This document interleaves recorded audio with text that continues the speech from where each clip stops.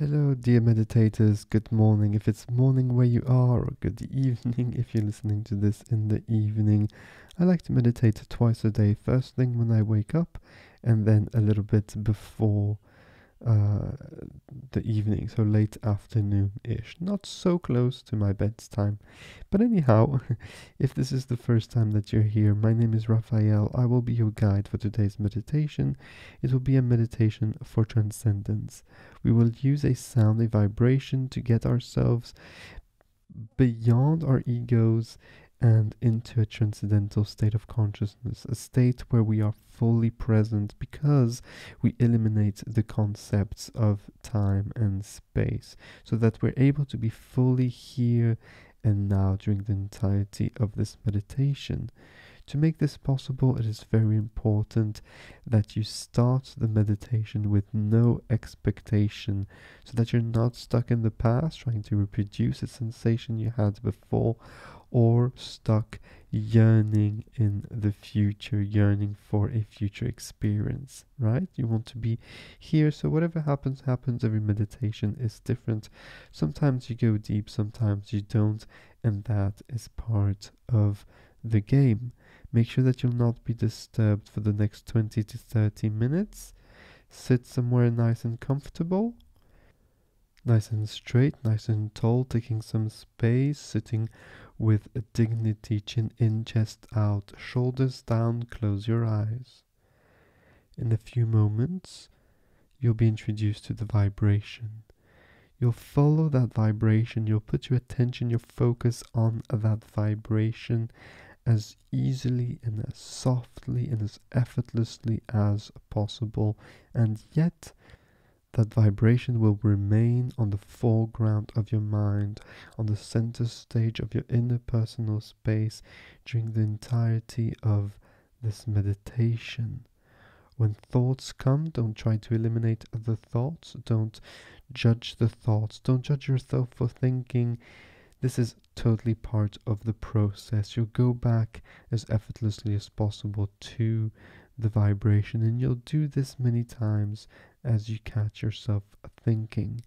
When the sound fades out, you'll reproduce the sound in your own mind.